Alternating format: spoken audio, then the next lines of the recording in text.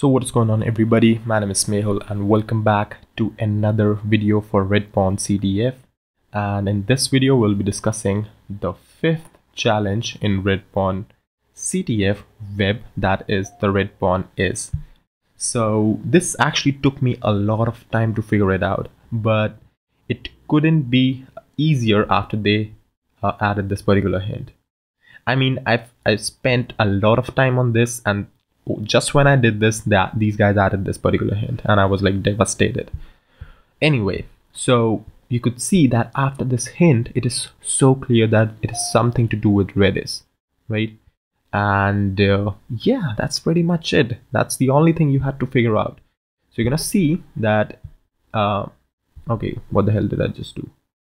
Okay, anyway, so you could see that this particular site says that you have to give it a URL and whatever url you give it um, it's just going to ping it.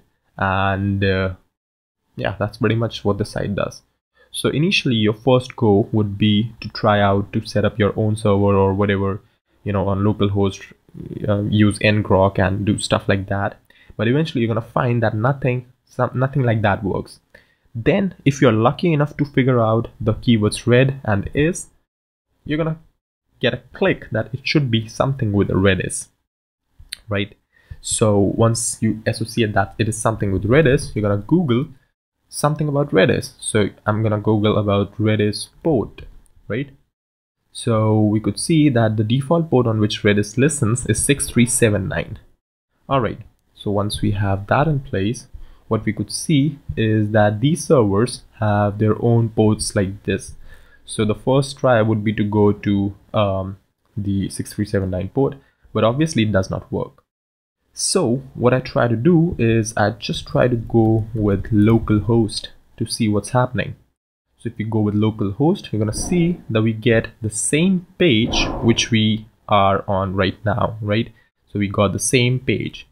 So that means that we are actually working with the correct um, local host version. So it's hosted on port 80, you know, everything's working fine.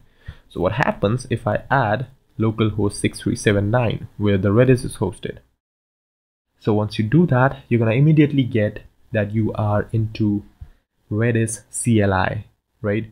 And since Redis supports get command, you know, the first intuition would be to actually see if they have already set up a flag or something like that for Redis in general. So what we're gonna do is we're gonna just go ahead and do some nice stuff. Let's see if I have that payload saved with me. So we're just gonna go ahead and copy this as fetch. Or in fact let me just see if I have that uh, 8001 right? So I should have that 8001 no I don't think so. Let's see. So we have http chal.2019 redpon.net 8001 yes we do. Right? And uh, yeah so that is this. So what's happening now is that if I just go ahead and try to do something like this what we're gonna see and actually let me just bring up the networks tab here. First of all we do something like this. We're gonna see in the debug response we get error wrong number of wrong number of arguments for the get. So we could see that Redis um, is actually getting our this particular response. That is our HTTP raw get, request get response, right? That is this one. So what we want to do is instead of this, we want to actually input some Redis commands. So the first one you could obviously think of is like doing info first of all and hitting enter. So once we do that we still get so how do we go about that? Well what we do is just we could observe after some tries you would be eventually be able to observe that you can actually insert a new line in the input right? And once you do that you're gonna see that you can actually insert new line. And you can see that we have some errors but different ones and that is because of the new lines. So these slash r slash n new lines won't work. You have to encode the URI components of those in order to make use of them. Oops. There we go. And once you do that you're gonna see something like you get the info of all the redis of the redis server which uh, which they are hosting right? And we don't care about these things.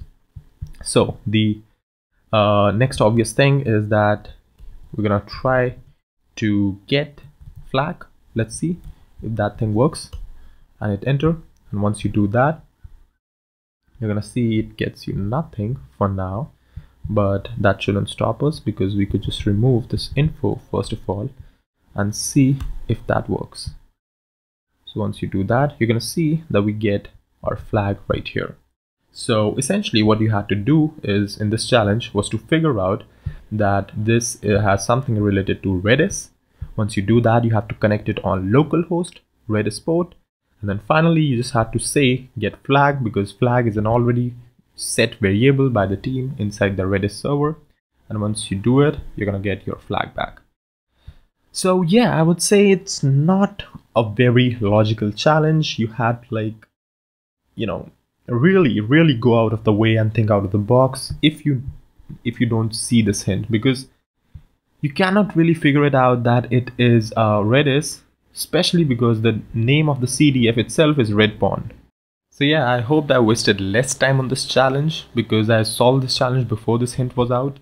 And these guys um, just put out the hint a, a couple of hours hours after I solved this challenge. So yeah, that, that was really bad. But uh, anyway, that is how you're gonna proceed in this particular challenge.